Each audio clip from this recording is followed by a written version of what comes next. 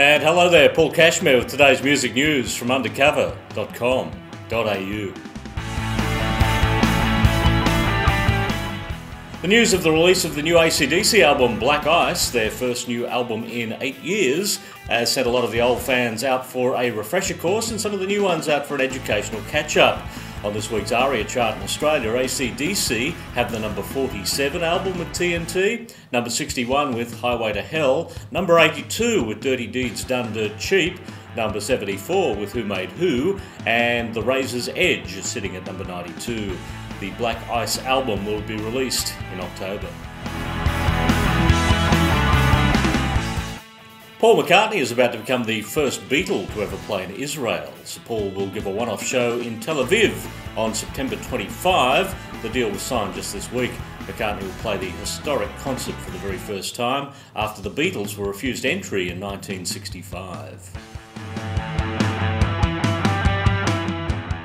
Kylie's X Tour is heading to Australia, finally. Expect an announcement later this week for the Kylie Tour in Australia for November and December. She's just completed a 53 date European tour. Madonna is getting political with her Sticky and Sweet tour.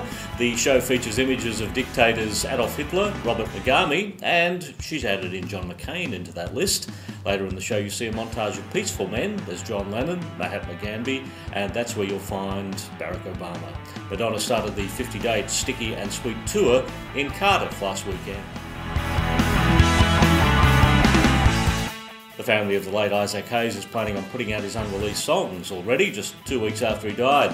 Isaac Hayes III, who also records under the name Dirty Ike, says that there is a wealth of unreleased material from his late father, including songs from the Stax era in the 60s and 70s.